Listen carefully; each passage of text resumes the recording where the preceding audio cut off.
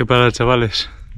Hoy ha sido un día de buenas noticias y como no, para celebrarlo he salido a dar una vuelta con la bicha.